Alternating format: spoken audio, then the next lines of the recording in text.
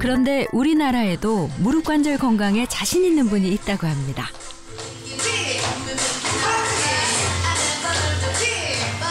어깨가 절로 들썩이는 흥겨운 음악에 맞춰 춤 연습이 한창인데요.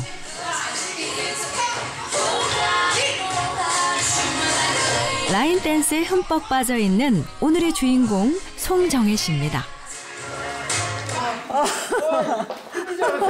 너무너무 힘들죠? 재밌어요. 아, 재밌어요? 네네. 혼자서도 즐길 수 있고, 일단 여러 사람이 또 서서 할 수도 있는 거잖아요. 그러니까 일단 가- 기분이 없대요. 이 춤을 추다 보면 굉장히 좋아요.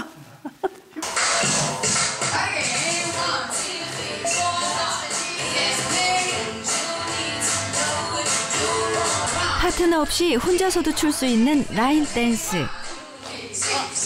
이렇게 정혜 씨는 일주일에 두세 번 라인 댄스로 생활의 활력을 충전하고 있다고 합니다. 댄스라는 건 원래 무릎을 주로 써야 되는 운동이라서 건강하지 않으면 절대 할 수가 없어요.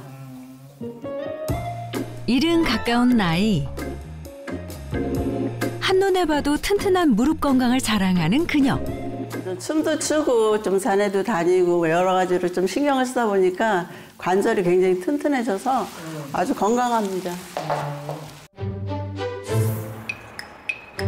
그런데 정혜 씨가 자랑할 것이 또 있다고 하네요. 제가 예전에는 하이힐을 좋아했는데 무릎이 아픈 이후에는 못, 마- 못 신었거든요. 근데 지금은 괜찮아서 이 하이힐을 이렇게 신고 있어요. 웬만한 젊은 여성도 시도하기 어려운 10cm가 넘는 하이힐을 즐겨 신는 거죠. 처음에 5cm, 그 다음에 뭐 9cm, 그래서 지금은 12cm까지 신는데 무리가 없어요.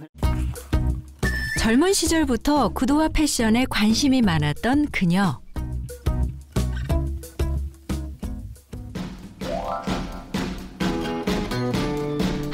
하이힐을 신기 위해선 튼튼한 무릎 관절을 가져야 하는 건 기본일 텐데요.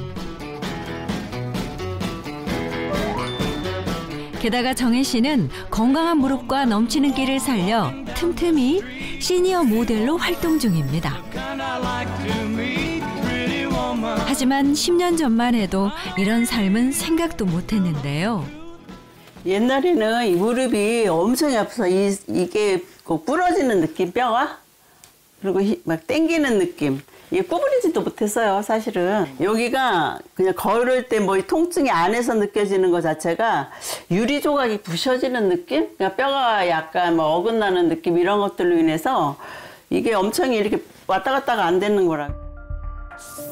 걷거나 계단을 오르는 일이 엄두가 나지 않을 정도로 심각한 무릎 통증에 시달렸던 겁니다.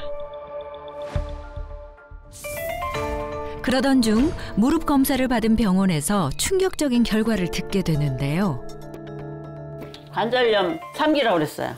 어, 치료는 그냥 물리치료 받으면서 뭐 약도 주입을 시켰고 여러 가지 그리고 부었어요 이렇게 하면 그 아픈 자체가 부으니까 붓기에 물기도 빼고 그러면서 이제 하면서 이게 근육을 강화시켜 줘야 된다니까 먹는 약도 먹고 그때서부터 운동을 하기 시작하니까 이게 서서히 나더라고요.